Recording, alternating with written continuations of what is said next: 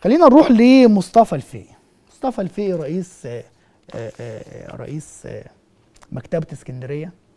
أعرفه شخصيا كنت أحد الشهود على واقعة تزوير انتخابات مجلس الشعب في عام 2005 واللي نجح فيها السيد مصطفى الفقي لصالح الحزب الوطني على حساب مرشح جماعة الإخوان المسلمين الدكتور جمال حشمت في دايرة أبو في دايرة دمنهور محافظة البحيرة ومصطفى الفقي واللي مشغل مصطفى الفقي واللي شغالين مع مصطفى الفقي كله كان عارف إن مصطفى الفقي ده مزور هو نفسه عارف إنه كان مزور والمستشارة نهى الزيني آه، المستشارة الشريفة آه، طلعت فضحت هذا التزوير وقتها وقالت أن ما حدث جريمة ضد الديمقراطية وضد الوطن والمواطن. المهم تحول مصطفى الفقي لخبير آه، سياسي وفقيه آه، سياسي ورئيس لمكتبة اسكندرية. ملناش دعوة بكل الكلام ده. طالع مصطفى الفقري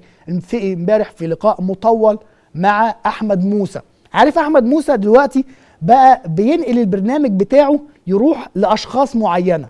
نقل البرنامج بتاعه من الاستوديو وداه القطر عشان يلمع كامل الوزير بعد الفضيحة بتاعة كامل الوزير ومشاكل كامل الوزير. امبارح أيضا نقل البرنامج من الاستوديو لمكتبة اسكندرية عشان يقعد بقى ونسمع لمصطفى الفقي وهو بيتكلم عن إنجازات الحكومة وإزاي بقى إن إحنا بلدنا عاقلة وبلدنا راسية ومحدش قدر يجرجرها عسكريا في قضية سد النهضة وإن بلدنا أدارت الملف باقتدار وبحنكة وبحصافة وبقوة وببعد نظر واستراتيجية. الناس كلها شايفة الفشل اللي عملته البلد أو اللي عمله المفاوض والنظام في ملف سد النهضة. لكن إزاي؟ ده الخبير السياسي المزور مصطفى الفقي شايف إن بلدنا ادارت الملف بحرفية وادارت الملف بإتقان. عايز أقف بس على جملة قالها مصطفى الفقي.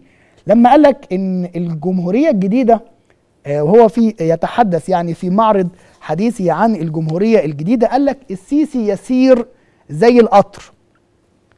السيسي يسير زي القطر. وقال إن الجمهورية الجديدة تعتبر تغييرا موضوعيا شكليا وليس شكليا فقط. وقال كمان أن الرئيس السيسي يسير زي القطر ولا ينظر خلفه ويسير نحو تطبيق مفهوم الجمهورية الجديدة.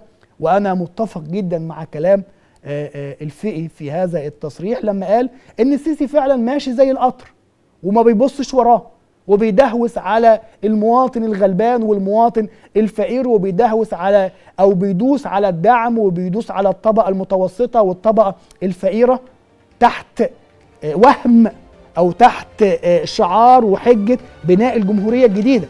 فيقوم يبني ال- العاصمة الإدارية الجديدة على حساب الأقاليم وعلى حساب القاهرة. يقوم يعمل آه، حاجات وهمية على حساب التعليم والصحة والمواصلات وعلى حساب التنمية المحلية وعلى حساب البنية التحتية.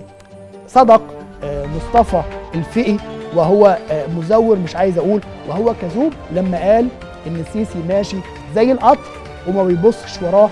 طبعا كل اللي وراه هم الشعب الغلبان والمهمش والطبقة المطحونه